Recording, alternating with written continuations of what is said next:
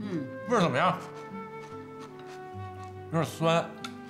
这小唐就爱吃醋，我就多放点醋。这豆芽要炒的再嫩一点，再脆一点就更好吃了。嗯嗯稍微火有点过，嗯，过了。不过已经很不错了。哪个菜是我女儿炒的呀？哎呦，这菜都是小唐洗的。是吧？经常练练做饭挺好的。你看做饭其实是一种享受，做桌子这么一大桌子菜，多有成就感呢，是不是？嗯，我想做来着，他不让我做。你刚才出去买菜的时候，我跟他聊了半天，也都了解了。其实你们两个人没什么大不了的，主要是我女儿任性。妈，你不是说过吗？吃饭的时候别老说话。啊，我不说话，我不说话。但是你撒娇，你也要有撒娇的资本？好，我不说了，不说不说。哎，妈，其实您也别老说小唐，其实也怪我。你说这结婚以后吧，公司确实是越来越忙了，我陪他的时间特别少，所以说他跟我发脾气，我觉得也正常，我接受。嗯，这回行了，您过来了，您就多住几天呗，也能多陪陪小唐。我还得上班呢，日子还得你们俩人自己过，你们自己相互调整、相互磨合。成家在一起过日子就是相互的，相互体谅，知道吗？陈远，你刚说那话什么意思呀？我哪句话？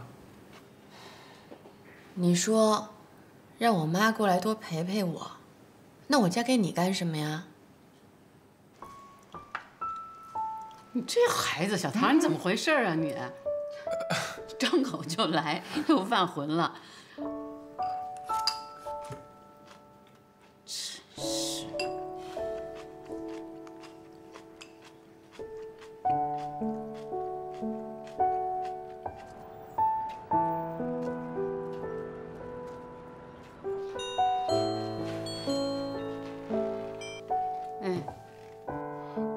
睡了吗？没睡呢，睡了还接你电话？闺女没事吧？哎，没什么大事，主要是你闺女太任性了，全都是让你惯的。这事儿也怪我。到到底怎么回事啊？她现在就认准了，钻死牛角尖里去了。她就认准这陈远，不如原来对她好了。哎，你哪天回来呀？我再待一天吧，礼拜一回去。你早点睡吧。啊，挂了。哎，好。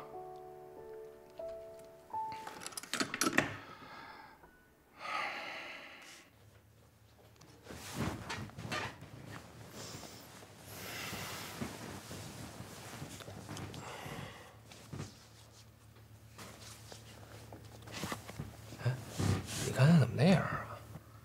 你瞧，你看那话说的，什么意思呀？那是。那我让妈在这多住几天怎么了？陪陪你不好吗？这跟你嫁不嫁给我有什么关系啊？哦，那你那意思是，我要不上班，天天跟家陪着你，你就不要你妈了？你这是什么逻辑啊？我说的是那意思吗？那你什么意思啊？什么叫我特别爱吃醋呀？我说的是事实啊。你本来就爱吃醋啊，爱吃酸的，这怎么了？我知道你说这话是什么意思，我就是不想搭理你。哼。哎我刚才去买菜那会儿，你跟妈在家都聊什么了？是不是告状了？说什么了你俩？你做错事儿啦，那么怕我告你状？那你要做错什么，你就给我承认错误呗。我我不怕，我什么都没做错呀。那你怕我告你状？我就想知道你们俩聊什么了那么长时间。我告诉你，其实我早就买完菜了，我在那市场绕了好几圈呢。我就想让你跟你妈多聊一会儿。聊什么了都？嗯？我妈问我，她问我咱俩什么时候要个孩子？不可能，你妈不可能问你这事儿。不信你去问她呀。我去问问。问。我明天早上再问。那我问问你呗，你说咱俩什么时候要个孩子呀？我喜欢孩子，我觉得咱到时候还不能要一个，起码要仨。咱俩都是独生子女，可以要两胎，最好是第一胎是一个，第二胎俩，这仨孩子就好办了。你爸你妈一个，我爸我妈一个，咱俩一个。那咱们什么时候要呢？现在不能要，等慢慢来吧。公司上了轨道，咱就要，好不好？那公司什么时候上正轨啊？我希望明天就上轨道，但这事儿不好说呀。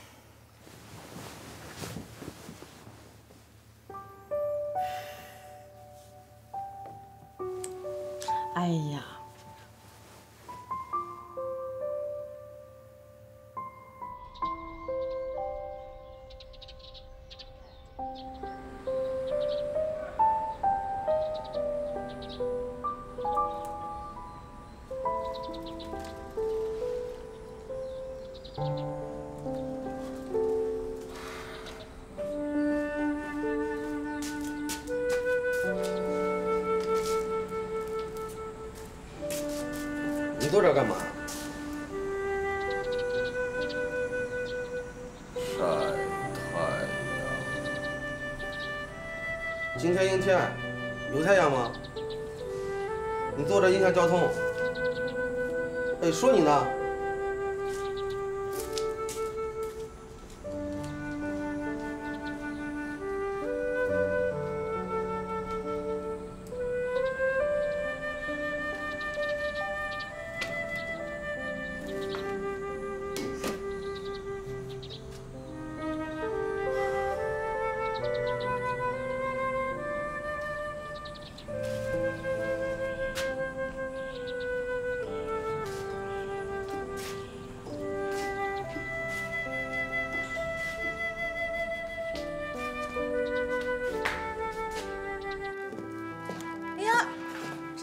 今天怎么跟我们吃员工餐呢？你妈没给你做饭？我妈回家给我爸做饭去喽。那行啊，那不正好吗？你不是说这婆媳关系不好处理，对不对？此地不宜久留。这回行了，你们俩能过二人世界了。哎，是啊，他妈又来了。哦，是吗？啊，哎呀，那你这回得好好想想怎么跟岳母处好关系了。我没问题。我告诉你，小白，我这个人这么随和，我肯定能处好。对你肯定没问题。志远，你觉得你结婚之后和婚前有什么生活上的变化呀？嗯，其实没什么变化，我觉着，但确实很多事儿上不太一样。你比如说啊，你这两个人在一块儿，就这个彼此的要求，跟原来谈恋爱那会儿就不太一样，就是，就是他对你要求更细致了，更更更具体了。那肯定啊，你们俩现在结婚了，都得对家庭负责任，肯定不能像谈恋爱时候那样，很正常。哎，其实我呀、有一件事特好奇，我也不太好意思问你啊，嗯就是你那会儿结婚挺突然的，嗯，你当时什么心态？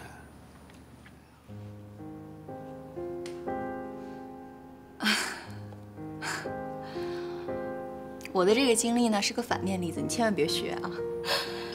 当时就是我父母催得紧，他们就觉得我到这个年纪了，应该应该结婚，应该生孩子了。我呢对自己又没什么想法，所以就冲动了一把。所以我现在就得为我当初的冲动负责。这件事以后呢，我想明白了，人呢就得尊重你心里最真实的感觉，不要听别人怎么讲。可是有意思的是吧，你有的时候就是不知道自己心里想要什么，想想做什么。所以呢，一句话，人就是命，别胡思乱想，因为一切都已经注定好了。哎，小白，你自己发现没有？你比原来就在老孙那边的时候，这成熟太多了。是吗？你看你刚才说这话，其实全是你对婚姻的感悟，你感悟挺深的。有吗？我我没这有有种感觉。有有有。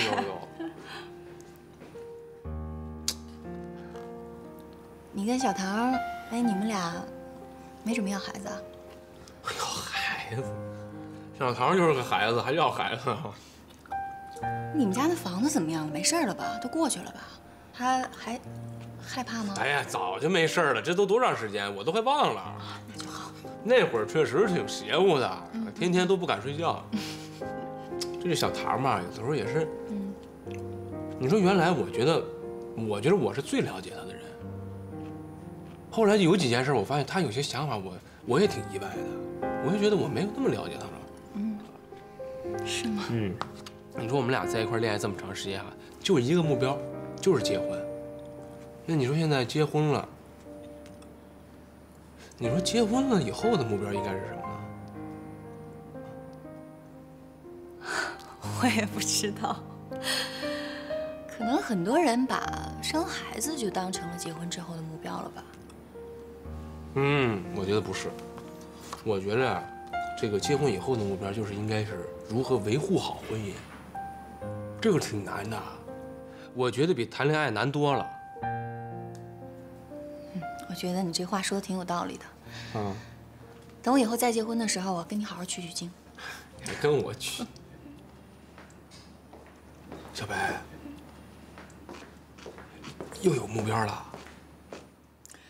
没有，我是说，我是说，假如如果如果我以后再想结婚的话，我跟你取取经。哪有目标？人都没找着呢，有什么目标啊？没有。啊。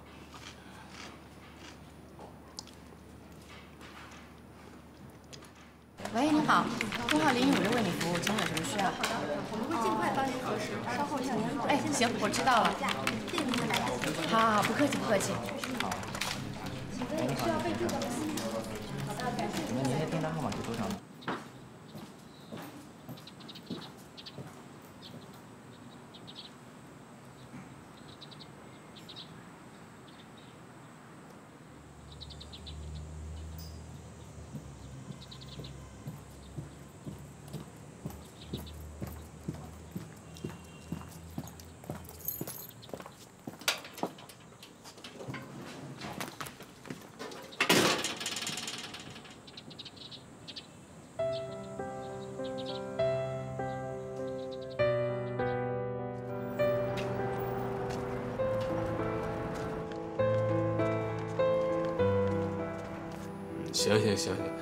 张总，我听明白了，啊，你也别老这车轱辘话老来回跟我绕。我说了，你这货肯定没问题，你就相信我，好不好？陈总，这是新送来的样品。啊，你这样等我下班以后，我再给你打个电话，我这儿挺忙的，好不好？哎，我先接个电话啊。行行行，我一会儿我一会儿给你打过去，我一会儿。好好好好好啊，五分钟五分钟，好好好，嗯。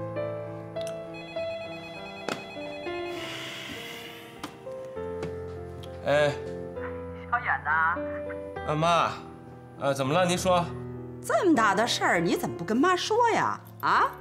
我有什么事儿能瞒着您呢？哎，你是不是跟小唐商量好了要孩子了？要孩子？谁要孩子啊？你呀？那别人要孩子，我给你打电话干嘛呀？我，这不可能，我跟小唐没这个计划呀。没打算要孩子呀？你听谁说的？这么大的好事儿你不告诉我啊？人家丈母娘给我打电话，这我们俩这在电话里边聊了半天了都。你这孩子真是的，这不告诉我。哎呀，妈妈妈妈，你别着急，你你别着急，你听我说，他妈说这个不负责任啊，肯定这话都传乱了。我们俩没有这个计划，你说这事我都不知道。我跟你说啊，以后你不管有什么事儿，你得先告诉妈。别到时候人家丈母娘都知道了，弄得我多被动啊！哎，行行行行行，妈，你别着急，我也觉得挺被动的。您不是最后一个知道的，这事儿我是最后一个知道的，就没有这回事儿啊。哎，妈，我我先不跟您说了，好吧？啊，我这接个电话，我在公司挺忙的，现在。哎，那那好吧，你先忙。清远，哎呀，哎，你怎么了？什么事儿啊？别着急，别上火，大热天的，来吃点水果，我刚洗的。这弄得我太被动了。怎么了？什么事儿被动？公司的事儿啊？不不，家里的事儿。哦，家里的事儿，家里的事儿你就更不能着急了。我一点都不着急，我着什么急啊？这么年轻，你说咱们公司现在这么忙，哪有功夫考虑这事儿啊？他们比我还着急，你这弄得我……没事没事，家里的事儿。反正父母说什么你听着就是了，也别反驳，他们都是为你好。啊。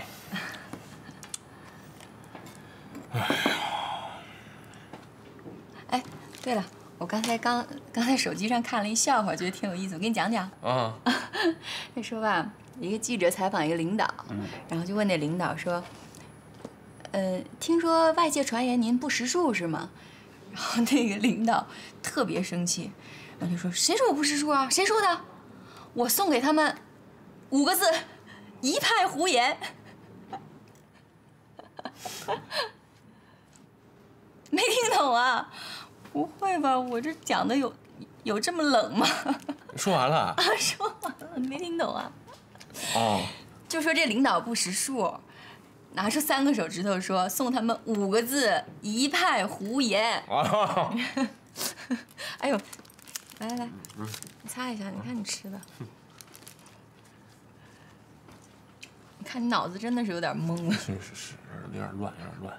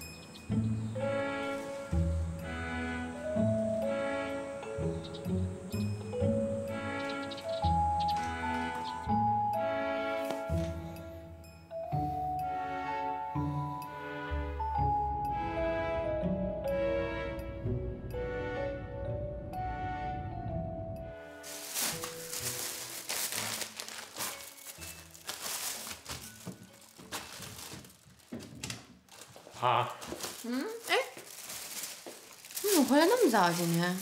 行了，行，先别装了，先别装了。哎，以后咱俩有什么事，能不能先商量商量？怎么了？我什么时候说咱马上要要孩子了？啊，这事提到日程上了吗？我妈今儿给我来电话了，说我要要孩子，给我说懵了。我没给你妈打电话呀。啊，是我没说，你跟我妈说的，那就是你妈说的呗。你说弄得我多被动。不是我说，这生个孩子怎么了？至于这么被动吗？哎，现在是你不行还是我不行啊？是咱俩不能生孩子吗？我不是说咱俩身体谁不行的问题。之前咱们不是说过这事儿吗？不是商量过了吗？我说我也喜欢孩子，等公司上了正轨的，咱们生活更好一些，咱们再要孩子。我不想让我的孩子比任何人的孩子差。我不是也心疼你们吗？不想让你再挤地铁、挤公交那么辛苦，这不好吗？那咱们的孩子挤地铁、挤公交怎么了？你希望咱们的孩子以后每天开着超跑上学放学呀？我没觉得应该这样啊。再说了，以你我现在的条件，咱们买不起奶粉，还是买不起尿不湿？啊？我根本就没觉得那些有钱人家的孩子把孩子教育的有多好。你，你根本就没明白我要说的意思。我就是说，咱们俩什么事，咱们俩得商量商量，好不好？商量好了再告诉老人。那怎么办？是我让让我妈给你道歉，是不是？你看，你又跟我较劲，你妈跟我道什么歉呢？不说了，不说了，好不好？那我也不想再说了，反正我也不着急生孩子。啊行行，对对对，不着急。万一我要生个孩子，你以后变心了，那孩子是最可怜的。哎，不是你这说的叫什么话呀？谁变心了？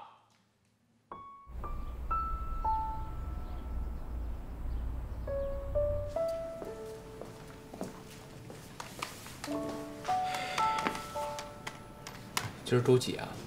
周四啊，我觉得下周一跟星宝那单子可以定下来了，没什么问题，把合同签了吧。儿，你干嘛那么急着从新宝这进货呀？那我为什么不从新宝这拿货呢？人家产品质量没问题，和咱们以往进这些货质量都差不多，价格这么有优势。是，你说这些确实也有道理，我都听明白了。但是我这心里一直不踏实。你说这世上哪儿那么多便宜客？咱们别别别别，胖胖，你这想的不对，这不是个占便宜的事儿，这是机会啊！谁有这个资源，谁没有这个信息。丽来，你看一下，签个字。哎，小白，这这这，你来正好，来来来，你坐坐坐坐，你往这来。怎么了？我往一块劝你。劝什么？星宝那事儿，刚才跟我说，急着下周一跟从星宝进货来。哦。这样，我再提醒你一下啊，咱做这买卖可是婴幼儿产品，产品质量特别这我不知道吗？我不知道咱是卖什么的，卖给谁的？这跟跟星宝合作有什么关系啊？嗯，公司经营这方面啊，我肯定是不懂了，但是成本核算我还是知道一点儿。那未来咱们如果跟星宝合作呢，那每个月的利润肯定会比以前高一大截，这是一定的。啊，小白，我叫你来是帮我劝他，你怎么跟他站一块儿去了？我不是说跟谁站一块儿，那成本核算嘛，就是这样的。胖胖，我问你，咱开公司为了什么？你做生意不考虑利润吗？你利润提高了，这是最重要的。行，陈远，既然你考虑清楚的话，那我再劝你一句啊，从星宝拿的第一笔货，你少进点。那我觉得恰恰相反，我为什么要少进？我觉得这次要大手笔的，量要大。人家星宝那老板答应我了啊，如果你要足够大的量的话，人家还能给咱让两个点。两个点。现在咱们这账上有多少现金？哎，我还真不知道，因为今天有几笔款要到账。这样吧，我给银行打个电话问一下。嗯，走走，我跟你一块儿去。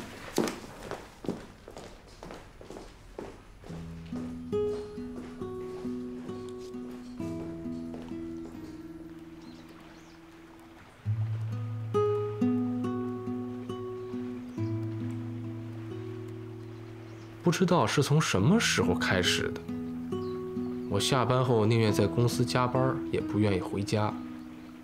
这种情况持续了好久，直到那一天。这个东西还可以作为妆前乳使用，对，你用了之后你就会有感觉的，那个妆一定会更贴、更湿润。哦，对我们自己也有用在，对对对，我们自己也用这个产品。好，那如果你用的好，就可以再给我们买，不客气，应该的。你怎么还没下班啊？苏小棠啊，这两天我看你一直在这加夜班，到底怎么回事啊？刚才我查了一下，今天晚上不是你的夜班。嗯，是不是我的夜班？我跟同事换的班。不是，原来你不这样，原来一说下班的时候，你跑的可比兔子都快，嗖嗖嗖就人不见了。到底怎么回事？嗯，没什么事儿啊，我那么早回去干嘛？反正 还不如在这儿多干点呢。哎呀，没什么事儿，你别问了，我自己的私事儿。行了，都几点了，你赶紧下班吧。是。按理来说呢，啊，员工的私事呢，我本来不应该多问。不过，如果我的员工思想上要是有什么波动的话，肯定会影响到他工作。所以说，如果方便的话，你就跟我说说；如果不方便的话，就算。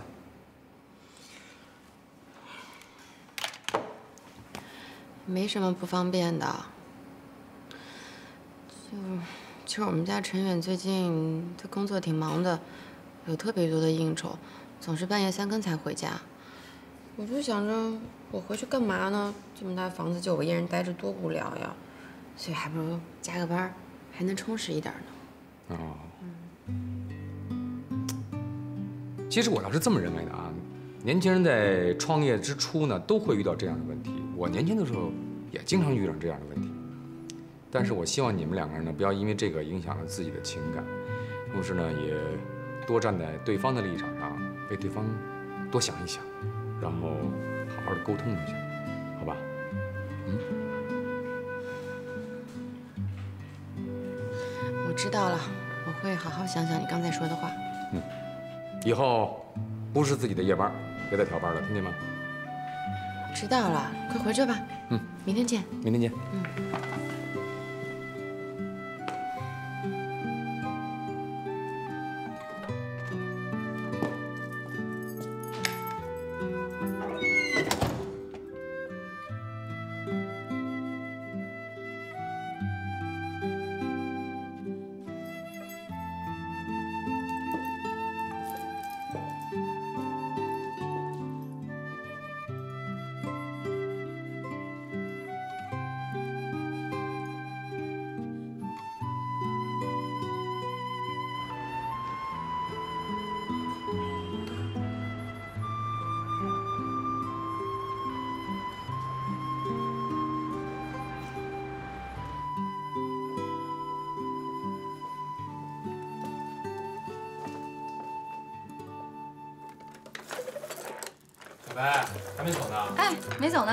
是吗？今天新到的玩具，我把它装一下。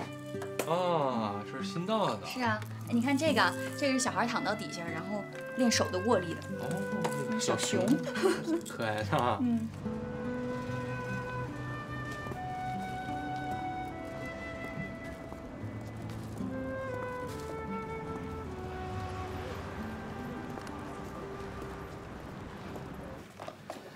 真是真是有意思啊！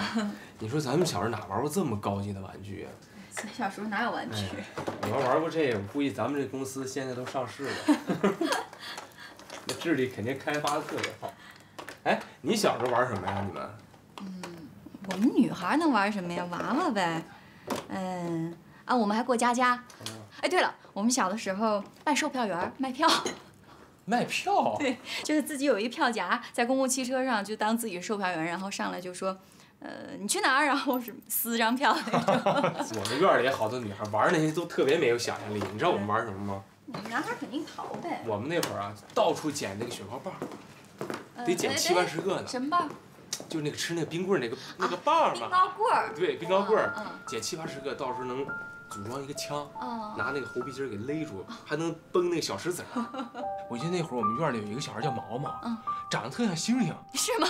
黑瘦黑瘦的，我跟你粘上毛到动物园里都分不出来。那毛毛可有意思了，我们说他像猩，他真把自个儿当猩猩了，就是快打我，叫。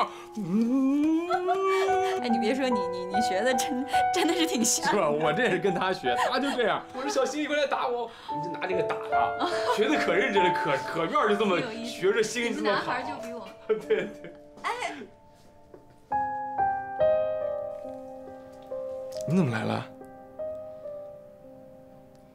小唐，你好，好久不见了。我看你这么晚还没回来，就想着你肯定在加班，还没吃饭吧？我给你带个吃的。哎，你啊，见过啊。对呀。你还请我吃过饭呢。对呀，你们。原来吃过饭啊一块儿，那正好咱就一块儿在这吃呗。哎，不用不用，我一会儿回家吃，没事儿。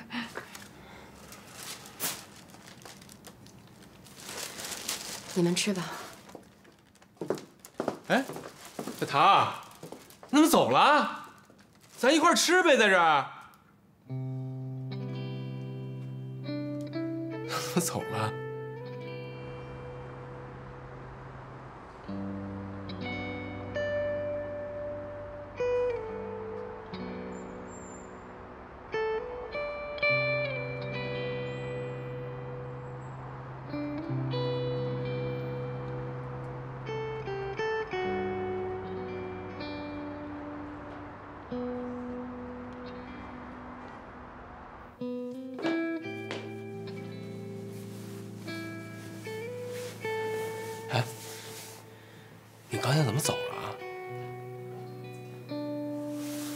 仨跟那一块儿吃呗，有什么呀？我看你买了四个汉堡呢。啊？哎，我跟你说话呢，小唐。转过来，你干嘛走了刚才？哎，你干什么呀你？怎么了？你还问我为什么走？你还要不要脸了？不你这话说太难听，什么要不要脸了？我怎么了？你还好意思问我？我进屋我都看见了，你怎么了？你看见什么了？我们怎么了？我看见什么了？对呀。你不是大猩猩演的挺好的吗？你给我演一个呀！好，我我我我我是演大猩猩了。那你演呀！我现在演啊。啊！哎呀，我没，我不是说，你你你先坐下，你别生气。我不应该怀疑你吗？你给我把话说清楚了，你别让我坐下。是是是，你坐下，我告诉你，我们今天啊，公司来了一批那个产品，那很多那玩具都挺高级的，我俩就在这研究这怎么组装啊，包括以后怎么给孩子们演示啊什么的，这就聊到小时候大家都玩什么了嘛。他就说女孩玩过家家什么，说还卖票啊什么的。我说你们玩的都没有想象力啊！我就跟他说我有一发小叫毛毛，长得特像猩猩，我就我就跟那儿就学了几下呗。这深更半夜你不回来陪我，在办公室跟他聊小时候的事儿，你怎么跟他就那么好呢？哎，你这话说的我就听不明白了，小唐，什么深更半夜？几点就深更半夜呀？啊？不是你现在在想什么？你脑子里在想什么？你说我在想什么？你想偏了，你想歪了，你怀疑我吗？你不值得怀疑吗？我不应该怀疑你吗？你怀疑我什么？我正常的跟同事之间沟通，这个玩具是我学了几下星星就就就怀疑我啊？你刚才在那笑的这么开心，你不值得怀疑吗？你什么时候跟我这么笑过了？我笑。你好好想想，你这些天。你都干什么了？我干什么了？你想想，你每天回来，你对我是什么嘴脸？你要不然就喝完酒回来，要不然醉醺醺的回来跪在地上。你倒好，在办公室跟你同事聊天聊那么开心，你要我怎么想呀？你什么时候能够跟我聊聊家常，跟我聊聊小时候的故事吗？哎，小唐，小唐，你你等会儿，你控制控制情绪好不好？你不觉得你现在这样有点过分吗？我看见你在跟其他女人装星星，我不难受，我还不能难受了。我装星星，你难受什么呀，小唐？我又不是天天装，你太任性了啊！你真的改改，你你别这样，你你你你你你控制控制好不好？我任性，你以前怎么不说？你早干嘛去了？我现在说晚吗？太晚了，我改不了了。为什么晚？咱俩才结婚多长时间就改不了了？我就是改不了了，要改你改。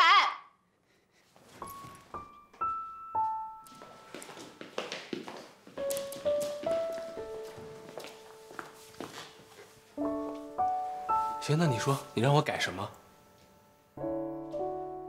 是说以后在公司我就不能再笑了吗？还是说你给我规定一个笑的分寸？我笑的什么时候可以？我这个嘴，咧到哪个角都可以？这嘴咧到这儿行吗？露几颗牙，是吗？啊，你说，你说个一二三，是吧？我就照着改，我也给你规定一二三，你也改，咱俩一块改，行吗？我说的不是这个，那你说的是什么？你别老说这些虚的，你说点具体的，具体你说出来我就改，咱一块儿。人都说男人有钱就变坏，你这还没怎么挣着钱呢，你就已经变成这样了。我什么学会了，小唐，你这怎么，好像让你说的什么都那么严重似的？我是花天酒地养小三了吗？调戏妇女了我？我告诉你，今天你来公司五分钟之前。没有五分钟，一分钟之前，我们俩还在说工作的事儿。我刚学星星，我就刚学两下，你就出现了。怎么就这么巧啊？我也纳闷，怎么就这么巧呢？我刚学你就看见了。你来干嘛？我关心关心你，给你送点吃的不行吗？你想给我送吃的，但是你怎么不问我想吃什么呢？你来公司之前怎么不给我打一个电话，确定我在不在公司？我要出去见客户怎么办？你这吃的给谁啊？是这么回事吗？怎么就这么巧？你是真想来给我送吃的吗？啊？哎，你看着我，是要送吃的吗？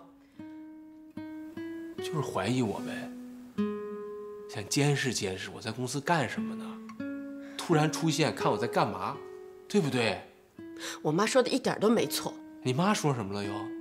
结婚之前这个男人对你再好，他结婚之后也是会变心的。小桃，你要这么说话有点过分啊！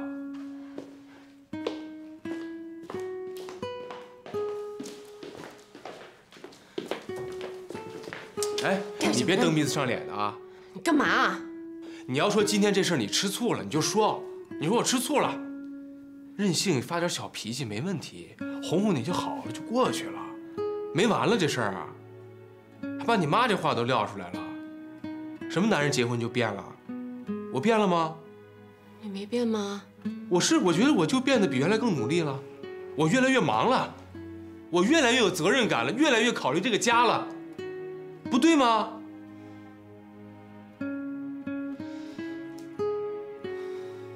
你别这么说话啊，挺伤人的。还什么有钱就变我变坏了？你别这么伤我心行不行？那也是你先伤我的心。你别老揪着这个星星的事儿不放，好不好？我以后不学了，行了，我不我不演星星了。我向你保证，我上了班就坐在我自己的办公室，我哪哪屋都不去了，好了吧？陈远，你怎么就不明白呢？我说的不只是今天这一件事儿。你有事你就说好不好？你别把所有的事攒到一块儿，给我个措手不及，我受不了。你有什么事你别憋在心里，你就告诉我呀。我就是想让你跟我说明白，你跟白杨到底怎么回事儿。我从进了屋以后，我一直在跟你解释这个事儿，对不对？咱屋里屋外的说，说了这么长时间了，你不信，你不信，你让我怎么办？我还能说什么？那你就跟我说实话。我说的就是实话，但是你不相信，你爱信不信？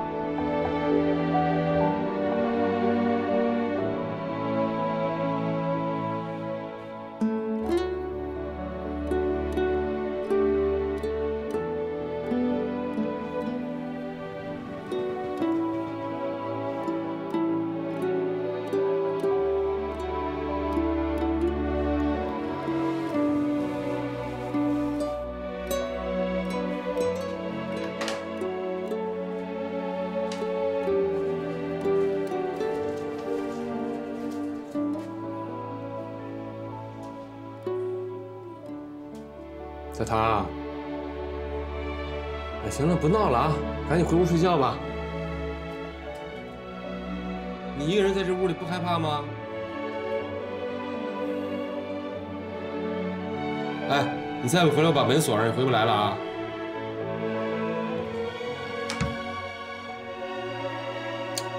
哎，我再问你一遍，你回不回来？你不说要走了啊？